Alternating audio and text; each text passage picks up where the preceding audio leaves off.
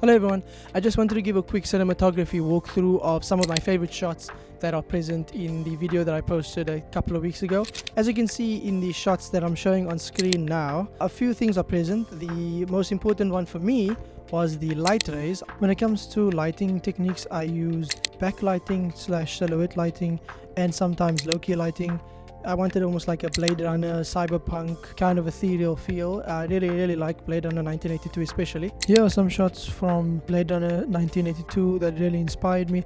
Of course, as you can see, the end result, I didn't fully follow that technique, but overall, I used this to guide my aesthetic and then I just made it even more ethereal. One of the main reasons why I love this look in particular is because it's, almost like a cheat code into creating your own little world because you're kind of hiding detail more than showing it and you're kind of insinuating something. You're insinuating something more than what you can actually do yourself. So a few things I learned when it comes to uh, light rays is you need hard light for that defined light ray look. Uh, if you have diffuse lighting such as the the softbox that you can see reflected in my glasses uh, it kind of diffuses the light too much and you don't really get any light rays.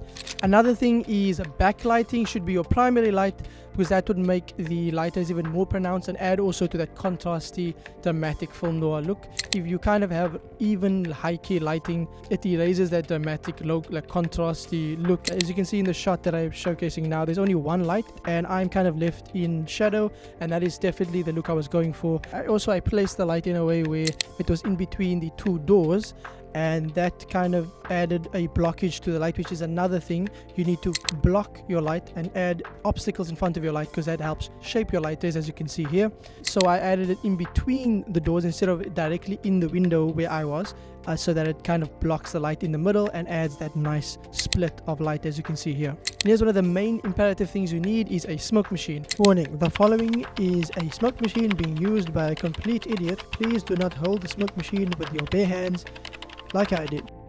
Thank you. I use the cheap 600 watt brandless nameless smoke machine from Takealot as you can see here and some cheap fluid. I'll put that up on screen as well. I filled the car up with smoke and then I did my best to spread it so it can have a more even effect. Then as I said before, I positioned my Godox SL60 watt a bit high angle down and that was the only primary source of light.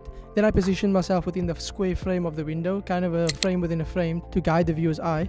And then, yeah, that was the overall look. As you can see, it created this beautiful light ray effect. Another thing I learned, if you want defined light rays directly from the light instead of having to block it, your light needs to be very magnified or very condensed. And what I did was I just bought a cheap sun lamp or sunlight I forgot what it's called this thing here as you can see and that has like a magnifying glass attached to it to kind of condense the light into a circle. So after using my smoke machine in the car and bringing in that light that was actually the only light source in the warmer scenes as you can see here. Uh, since it's very condensed because of the magnifying section on the sunlight or the sun lamp you can see it immediately has this clean beautiful, powerful light ray effect, which added to that ethereal kind of look that I was going for. Another it seems like I'm putting a lot of emphasis on teaching you guys or telling you or informing you how to create light rays, but it is a very huge aspect of the entire aesthetic that I had present in that video. Another thing also that helps is positioning lights at an angle. You could angle it like in this shot. Uh, as you can see, I had to angle it to kind of get that slight light ray effect that I wanted to go for.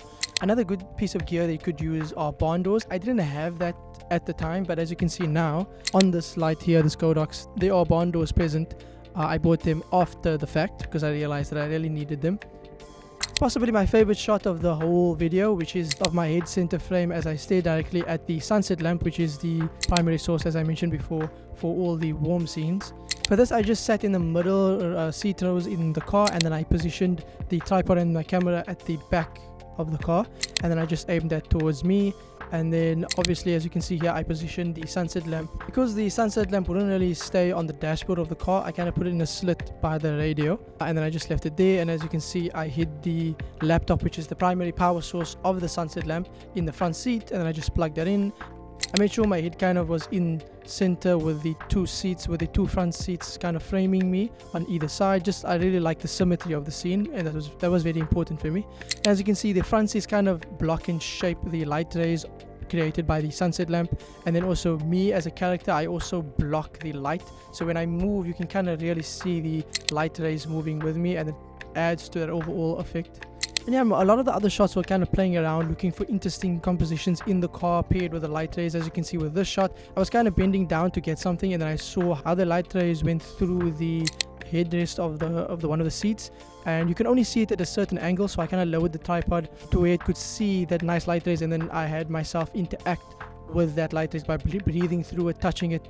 And another thing that kind of really helped, I used a spray bottle to spray down the windows. It didn't actually rain that day or the day before or anything like that. So what I did was I just took a spray bottle and in between scenes I would keep spraying the windows to kind of add that texture of the raindrops because you can't have film noir or Blade Runner without rain. As you can see in this shot of the window and this shot here as well of the car from outside, this really, really adds to the overall film noir Blade Runner effect uh, and also it just adds texture and it kind of reflects the light in a nice way as well.